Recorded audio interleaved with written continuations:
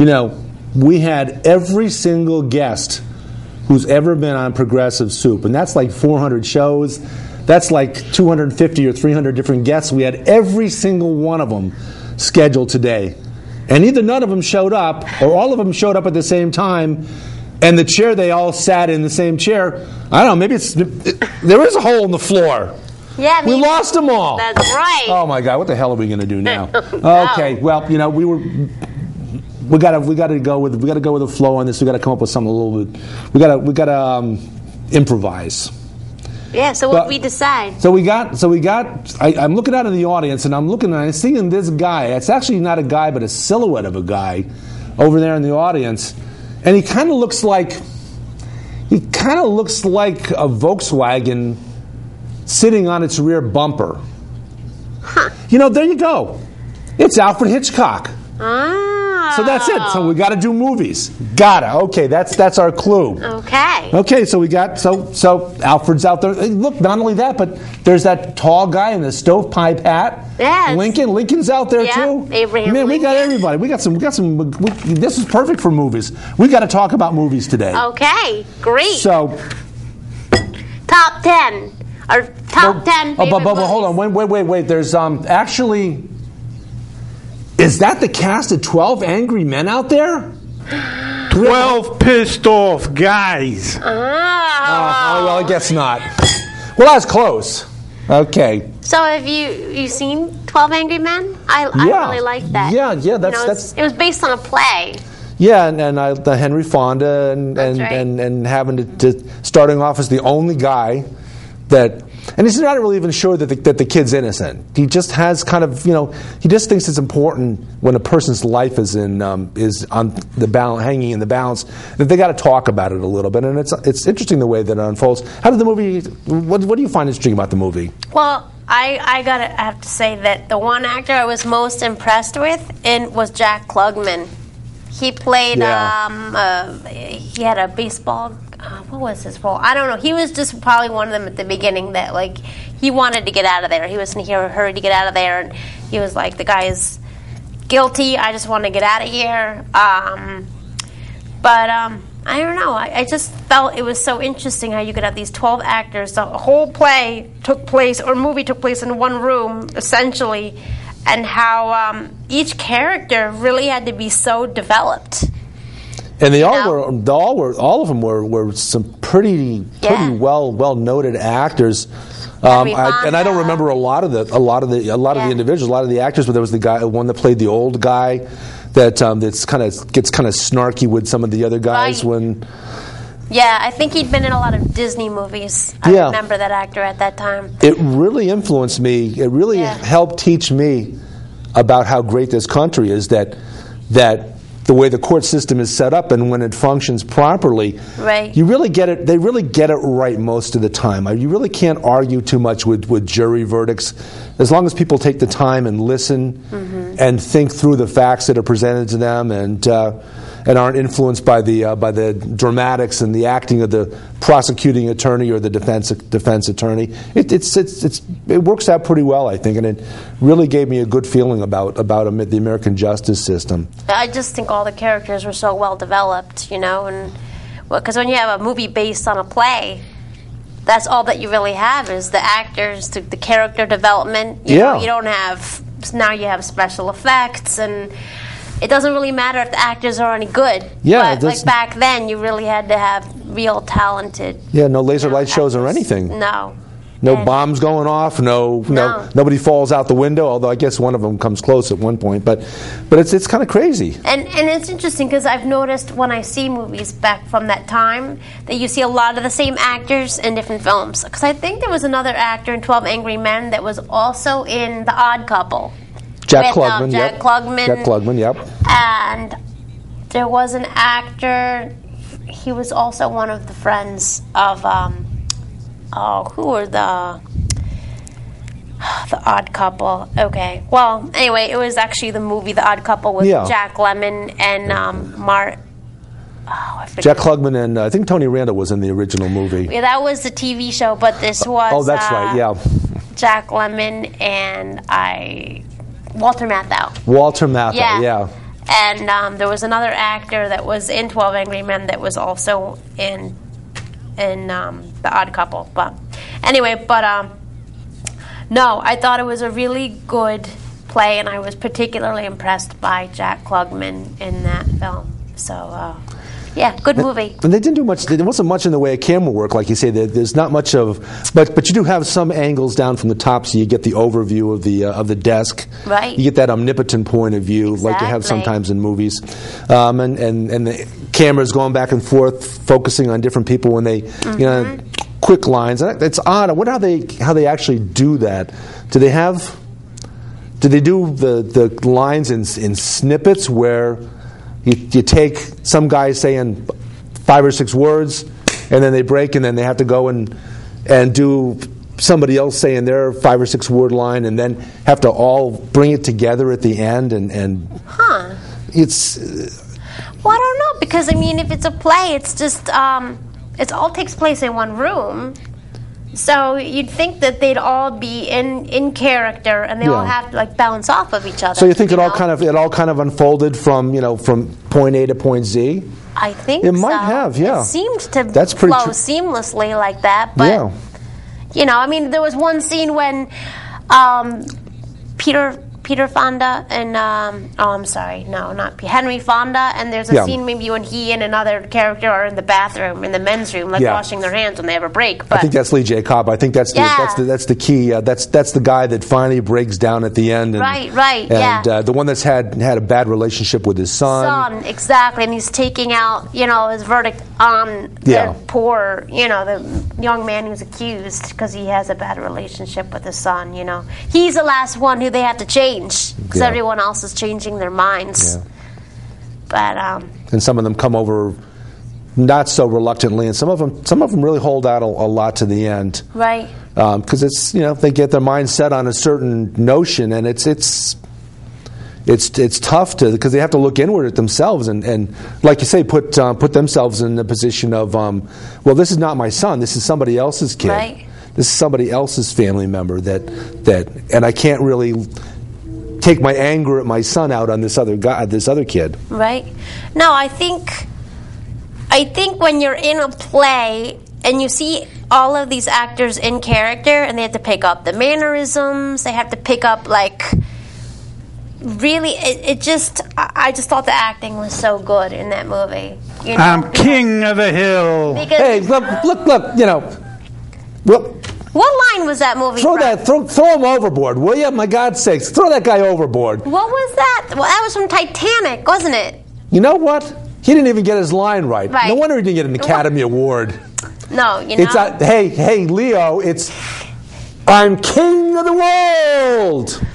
You know, Not that I want you to say it again, but if you know, if you do, I must say that I'm not one to cry at movies, but I cried. Not I, I cried in Titanic, but I didn't because I, you know I saw the movie and everyone's like, "Oh, Titanic, you're gonna cry," and I didn't cry till I was in the lobby after the film, and then it just hit me, and I just started bawling. And I think it was just it was there was something about that movie, and I normally don't cry at movies, but especially the scene when Yeah. for me the scene when she they're you know they're they're off the boat and they're floating like on a piece of wood and Yeah. he's frozen and she has to let him go and she sees him sinking to the end of the the bottom of the ocean that Yeah. scene that was what about you that was a killer scene for me did did you cry for titanic or i mean i mean what did you think of titanic when they came back, and after you've seen all these all these uh, these scenes with Right. um, with with the two of them, with the two young people, and then you come back and you have to reconnect the fact that this elderly woman who's on the ship right is actually one of the two characters. It's actually her, Right. advanced in age. Yes. And then when she goes to the side of the boat, and we have no idea at this point because they're down there under the sea looking looking for the uh, emerald or diamond That's or right, something. sapphire. They're, they're looking for Yeah. the sapphire under the ocean. Yeah. And there she goes out on deck in the middle of the night on the frosty night. Yeah. And she reaches in her pocket and she pulls out the sapphire. I know. And and the, the first thought is no no no no no no. But then again, it's such a romantic thing that she Yeah. she throws it overboard, Exactly. so that it finds its way back Yep. to Jack. exactly. Uh, Not that Leo deserved it, but you know. I'm getting goosebumps just talking about it. But yeah, it was um, yeah, it was um, the, the the the connectivity between I between the person at, at two different stages in their life, and and that to see that she still had that, sh- she was still the same person. That she'd been so deeply touched by by that Yeah. horrible accident that took place, that where she almost died, and, and the man that she fell in love with, and thankfully got away from from Yeah. from from that that horrific dude that she was engaged to. I know. Um, yeah, that, And, and she still kept his last name when she finally got to land. She I had forgotten that, but yeah, you're took right. Jack's yeah, last name. that's Yeah. right. Yeah, And she created a whole new life for herself. that I is know. that is just just amazing. All right, enough right. enough enough of the drear. Okay, another let's another go movie. on. Another- Yeah. bring us out another movie. Well, uh, one movie I must see every Christmas is It's a Wonderful Life.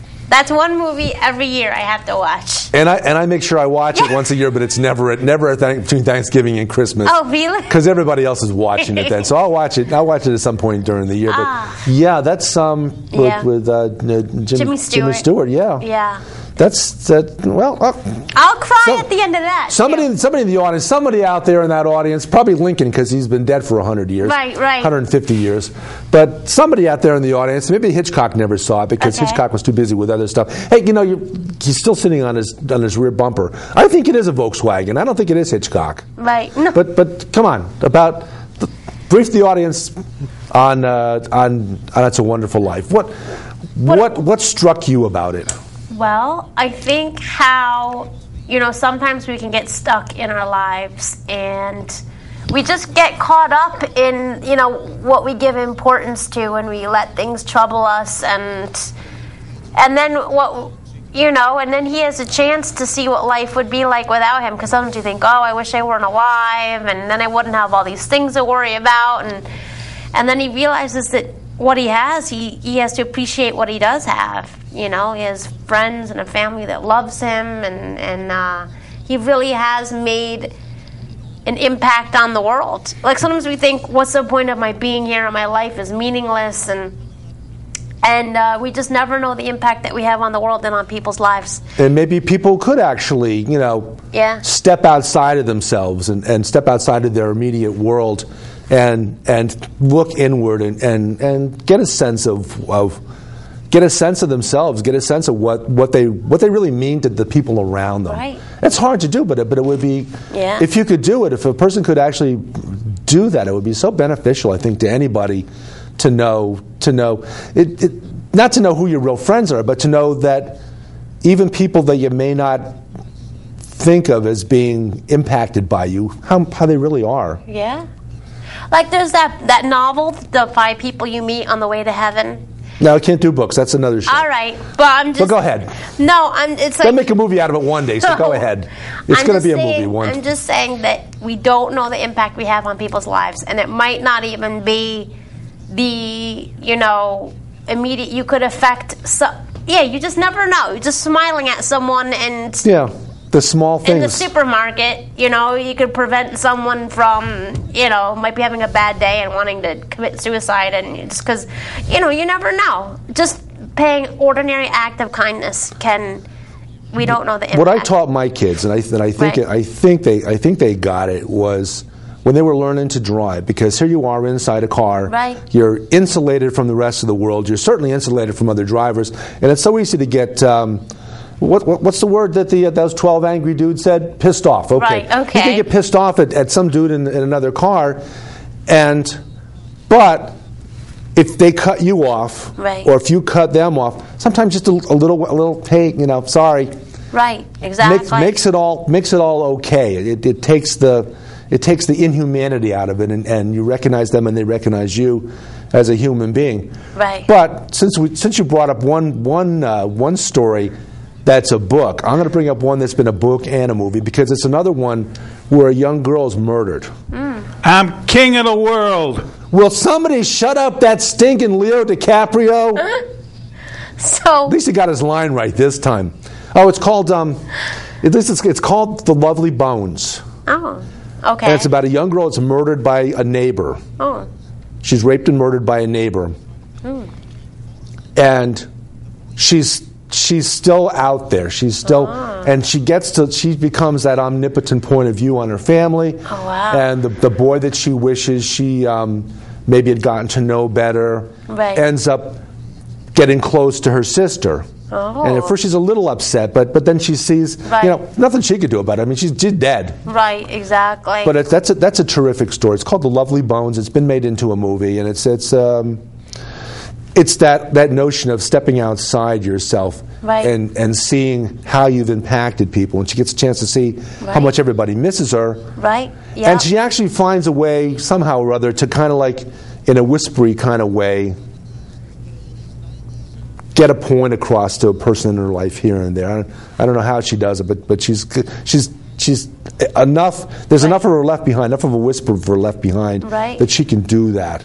Um, And another thing about It's a Wonderful Life too is that like he had to give up all his dreams. You know, he wanted to travel the world, but he didn't get to, and you know, and so he gave up college so his younger brother could study, and so his brother becomes a war hero, and his brother becomes famous. yeah, But this angel comes to him and says, you know, prevents him from killing himself, but says, if you hadn't saved your brother when he was eight years old, you know, sledding, then he wouldn't have become the war hero. what do you call it when you what do you call it when you when you when you when you give out information about something that that um, Spoiler alert! That's what it is. Spoiler, spoiler alert. Right. So it's just he, doesn't, he, doesn't, he doesn't jump off the bridge. Oh. But but but you know he's not going to anyway. I mean, you know, anybody that watches the movie knows when you get to that point that, that something's going to happen Right. to prevent him from doing that. So it just it just shows we Or all our lives are important. Or We're the all important. Or the angel's going to go crazy and just push him off. you know. Right, Yeah, exactly. one or the other. anyway, so that's why it's just a real feel good movie, you know. Uh, Here's another feel good one Another feel good one? Pollyanna. Pollyanna, yes. Disney. Hayley Mills. If you haven't seen it, it's a great movie. Little girl who's. Um, Hitchcock's not on his bumper anymore. you know, maybe it was a Volkswagen sitting on its rear bumper. I thought it was Alfred Hitchcock for sure, or at least his, you know, his, his, his silhouette from, from the show. So, um, so yeah, so so she, um, you know, she, she's the one. She's the one that makes everybody else happy. She's the one that elevates everybody else's Right, spirits. of then something bad happens to her, Right, and a tragedy, right, and she becomes very gloomy. right. Yeah. I don't want to say much more than that because it's, it's it's worth watching if you haven't seen it. It's a it's an old Disney. It's an early color movie with Disney. Right. A Disney movie. It's it's a it's a really it's a it's a very elevating movie. It's almost as elevating as um, The Sound of Music. you got it. I love the The, Hill- Music. the Hills were alive, weren't they? Oh, yes. But thankfully, Uh, it wasn't like in a lot of movies where the hills are alive and they, they come and they um, and they roll over and crush and crush people and zombies come out of the out of the glens and the woods Yeah. and stuff and mangle everybody. And This, I- this is one where the hills were actually live with a with a positive spirit. and the Sound of Music. yeah, And it was based on a true story. I think the family, the Von Trapp The Von family, Trapps, yeah. they settled in Vermont, I think, and they're still living descendants there's of the Von there, Trapps. there may be still a Yeah. couple of them left alive, but yeah, and the movie the movie actually, as I recall, takes place In during, during in Austria during the Yeah. Nazi occupation. Exactly. So there's a lot of there's a lot of bad stuff happening around them, and, Right. and somehow they manage to um, Escape. They manage to escape through their um, just their their they just with the help of the nuns, the nuns helped because Maria von Trapp was uh, she was about to become a nun and take her final vows, I remember that. Yeah. and okay. uh, yeah. the head mother superior says, "Well, I don't know if you're ready yet, so why don't you go off and be a nanny to this this ca- sea captain who yeah, there, that's right. And then she gets then she gets her guitar out and starts Dominica Nika Nika Sono. You know. Oh, that's a different movie, isn't it? That's, that's, a, that's a different movie. You- but, the, but, the, but they had but Julie Andrews did some good songs in that, and she's got a, a, a great voice. Yes, she does. So um, No, but I, and I love Christopher she Plummer. didn't do Dominica. no, Oh, okay. no. I don't know. So Christopher Plummer's in that. he sings Edelweiss. Edelweiss, yes. Okay, yep, Yep. yep, yeah. Yeah. That's that's pretty cool. And yeah. so she she falls in love with the sea captain who has he's a single father, widowed father with like nine kids. Yeah. And um and then she because the mother superior says to Maria, don't use the convent to escape, you know, as an escape.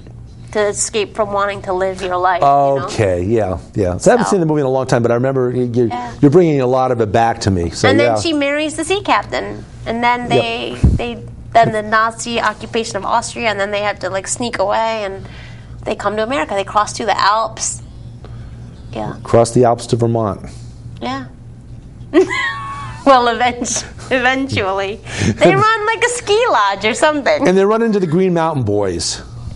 Hopefully, it's possible. How about um? Let's talk about uh, the jerk. Steve Martin. See now that was that was to me that was that was a an edgy movie in a, in a sense, but not Yeah. in the sense that it was a, a young white, White man, man. white white white man. If I may, if, if our producer will allow us to use that term, Yes. a young Caucasian That's kid right. That's brought up by a black family. family and doesn't know he's white. Doesn't know, No. yeah, doesn't Yeah. know because because he he's his parents, Yeah. he's his adopted parents' ch- But, child. but he has no rhythm, so he knows something's No right. rhythm, yeah. oh, So, so give me a little, give me a little bit more about that because I'm now I'm confusing that with with airplane. oh, oh. Well, Steve Martin, he um he comes of age, and his parents say to sit him down and say, "You're not our son," and he's like, "What? I'm not black," and they're like, "No, you know, you have no."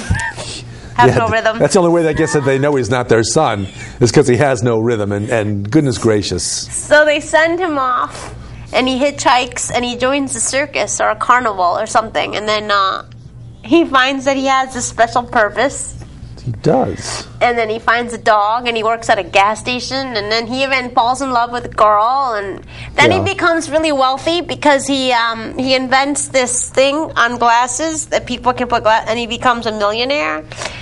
And then uh, all these people start going cross-eyed because he puts this thing on the glasses, and people are like staring at this thing on their glasses. Oh, So they sue him and he loses everything.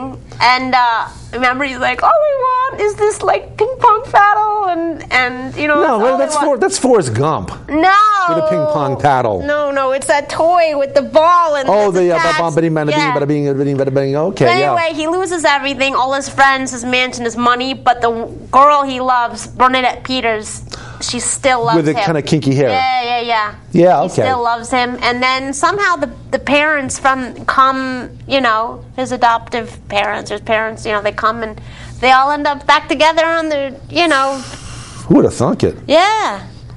How about That just uh, goes to show life's just a, a life's just a box, Box of of chocolate. Chocolates. You never, you never know what you're going to get. No. And Steve Martin didn't know either.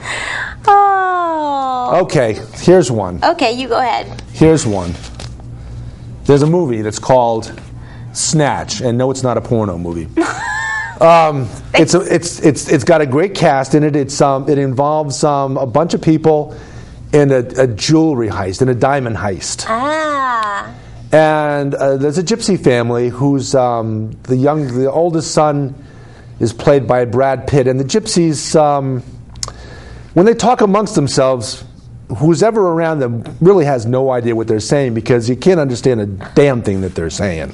Great. And this is how they get to. This is how they negotiate with people because they'll they'll negotiate and uh, and anyway, so so they're they're, gypsies Okay. in in Ireland, and um, and Brad Pitt is is a boxer. He's a he's a barefisted boxer, and he's. Uh, He's pretty good, but it all kind of revolves around this diamond heist, and, and I, without going into a lot of detail, it's it's a it's it's a pretty crazy movie, and I'm going to recommend it for Brad Pitt fans, for uh, Benicio del Toro fans, Oh, yeah. um, and for the all time the all time great of all greats, Dennis Farina. I'm king of the world. Well, somebody, you know, some, No. will somebody throw that dude overboard? Yeah, I heard that Brad Pitt's pretty good in that movie. Yeah, he's he's good, and they're all they're all good. Yeah. They're all good. There's a bunch of bunch of very well known actors and, and a bunch of not so well known actors that, that fill in the uh, fill in the cast pretty well. Um, so that's Snatch, Huh. and uh, I don't know whether I should throw in another Brad Pitt one, Fight Club. Have you seen that one? No, I haven't. But they make soap out of out of human beings or something. I'm a big soap. all fan. about it's oh, it's all about the soap, but no, but actually the soap Oh. it's it's all about a couple of young guys who end up actually not being a couple of young guys, Oh. and I won't say any more about that. They're not a couple of people, Oh. but um, yeah, it's about soap. It's about a young man who um, who Edward Norton's in Edward Norton brings in. Actually, it's one brings in the other. Okay. And they're and they're they're taking um, they're going to the, the clinic where you go to to have the, the fat sucked out of you. Oh, The- the- the, liposuction. liposuction clinic. Oh, And, interesting. and and, they're and they're taking the soap. They're taking the fat. They're boiling the fat down, Uh-huh. Right. making this this uh, very expensive soap to take to the expensive stores Ah. who will sell it to white women, mostly white women Interesting. who are, who are using this soap that, that may very well have come from inside of them. It's kind of crazy. Wow. And the, the boxing scenes are pretty interesting. Um, it's, it's, it's, it's, it's, it's kind of a wacky one. I would recommend that one also. It- but it is, it is, it's about more than about the soap. I thought it was like boxers that would die fighting that they would use the bodies, kind of like a Sweeney Todd kind of a. Now they, um, Ah, now okay. they, they, they start this, they start this fight club. And rule number one of fight club is, and there's rule number one, Uh-huh. um, one minute. Uh, rule number one of Fight Club is never discuss Fight Club outside of Fight Club. Nobody, no, no the rest of the world Oh. should never know about this little cliquey group of, of young men Oh. and some older men that get together occasionally and uh, beat the tar out of each other, Huh. all in fun. Oh, okay. So it's it's it's it's kind of um. So throw me another movie, and we'll and we'll start now. We'll start now, and we're Mr. Gonna, Mom. Mr. Mom. We're going to start with Mr. Mom when we come back. All right. To uh, to do uh, to do our uh, Thursday noon thirty show. show. So we're going to come back and talk about Mr. Mom Right. and Progressive Soup, David Stevenson, Emily Volpintesta, and Stick I guess, around. and I guess about 250 guests, which are probably down in the basement at this point, because one sat on the other, sat on the other, sat on the That's other, right. and bada. Yeah. and they're all they're. All down in the basement. Maybe we can find maybe we can find them and then and and you know sit them all up one on top of the other in the chair, and maybe they can join our discussion I think that would be fun. for tomorrow's show. That's right. And Progressive Soup, thank you for joining us, and. Uh, That's right. Have a good day.